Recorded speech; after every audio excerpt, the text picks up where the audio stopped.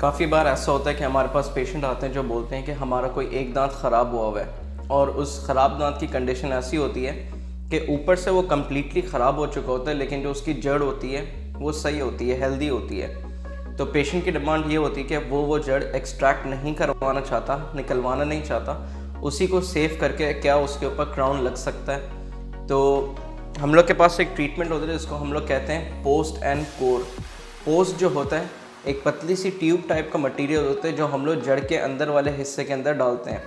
और उसमें डालने के बाद हम लोग एक फिलिंग करते हैं, जिससे उसको एक फाउंडेशन मिलती है। ये फाउंडेशन बनने के बाद दांत इतना स्टेबल हो जाता है कि उसके ऊपर एक क्राउन लग सके। तो अगर कोई ऐसा दांत है जो आप एक्सट्रैक्ट नहीं करवाना चाह रहे हैं एंड चाहते हैं कि वो सेव हो जाए तो फिर पोस्ट एंड कोर एक ऐसा ट्रीटमेंट है, जिससे आपकी जो ख़राब हुआ हुआ दांत है, जिसकी जड़ अभी स्टेबल है, उसके ऊपर हम लोग क्राउन लगा सकते हैं।